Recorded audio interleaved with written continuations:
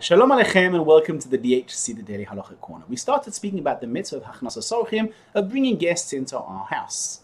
It's interesting to see, we see this both in the, in the Torah and in the Midrash, that the best way to check if a person is a worthy candidate for marriage is by checking him through the mitzvah of Gemilus Chesed, of how he does Chesed, mercy and grace with other people, specifically focusing on Hachnasas Orchim. How does he treat guests? Let's give the first example.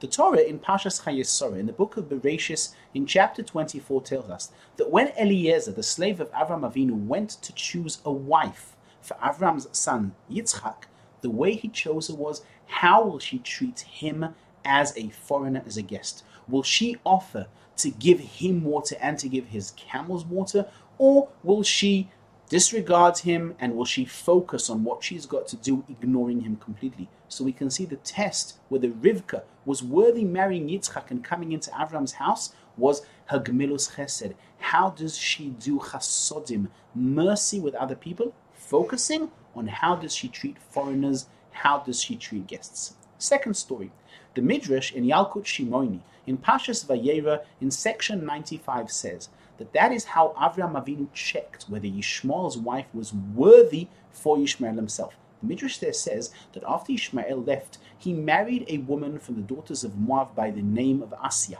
Avram Avinu wanted to check and see if she's worthy or not, and he rode on his camel. He promised Sarah that he would not get off his camel. He came to their house after three years, and he asked Asya where is your husband, my son Ishmael? And she said to him, He went into the desert to collect fruit and dates. He said to her, Can you please give me some bread, some water? I'm very thirsty and hungry. And she said to him, Sorry, don't have anything in the house. Please go away. He said to her, Please, please relay this message to my son when he comes back. Tell him that his doorstep is not appropriate for him. She didn't understand what he meant, so when Ishmael came back, that's what she said. He understood that his father was hinting that she is not a worthy wife, and he divorced her. He then married another wife from the house of Mitzrayim, from the house of Pharaoh, by the name of Fatima. And the same thing happened again three years later. Avram Avinu came to their house. He wanted to see what was going on. He said to her, Where is Ishmael, my son? And she said to him, He went out into the desert to collect fruit and dates. He said to her, Can you please give me some bread and some water? I'm hungry and thirsty. She said to him, With pleasure.